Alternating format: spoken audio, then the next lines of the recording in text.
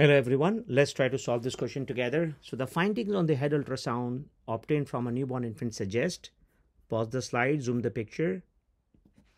So it's cavum vergae and you guys can see here that cavum have like a, like a keyhole kind of a thing and that is uh, suggestive of cavum vergae. It's the continuation of the posterior aspect of septum pellucidum which I will show you in the next slide. It's not hydrocephalus because you can see the right ventricle and left ventricle are not dilated, so that is out.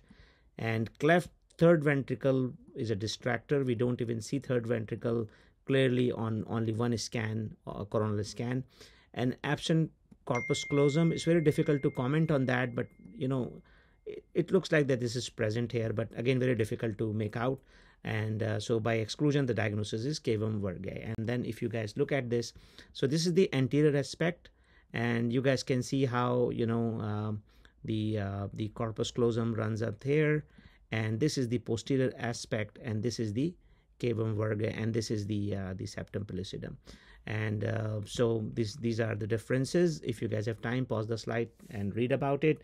So basically uh, cavum vergum is just a posterior extension of uh, of the uh, cavum i hope you guys have learned something together today. You guys have a wonderful day. Bye